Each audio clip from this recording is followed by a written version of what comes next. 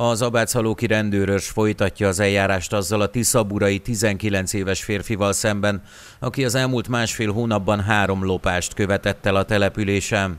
A megalapozott gyanú szerint június 7-ére Viradora testvérével egy lakatlan hétvégi házba törtek be Tiszaburán, ahonnan különböző használati tárgyakat tulajdonítottak el.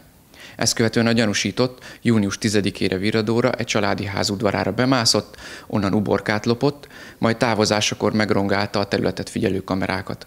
Testvérével ezután a helyi református templomot célozták meg, ahonnan több méter rézlemez szakítottak fel, majd elvitték azokat.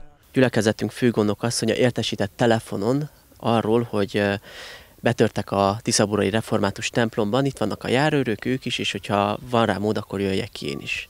Amikor megérkeztem, akkor szembesültem azzal, hogy a következő történt. Csütörtökről péntekre viradó éjszaka, a kerítésen keresztül valakik behatoltak a templomnak az udvarára, a hátam mögötti kisablakot befeszítették, és onnan pedig fölmentek a toronyba, és a torony csúcsát süvegén egy kis kémlelő nyíláson keresztül a, a burkolatot, ami részből készült, elkezdték fölfeszíteni, több négyzetméteren keresztül ezt lelopták és elvitték, illetve a toronyórának a számlapját is a másik oldalon, amely a Tisza folyóra néz, elvitték és ellopták.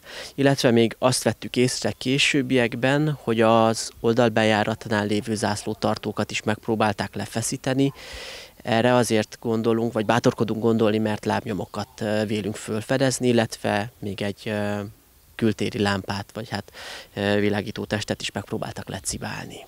A rendőrök kamerafelvételek alapján azonosították a testvérpárt. A 19 éves fiatalt elfogták az egyenruhások. A nyomozók három rendbeli lopás miatt kihallgatták, őrizetbe vették és letartóztatását kezdeményezik. Bűntársa egyelőre rejtőzködik, ellene elfogató parancsot adtak ki.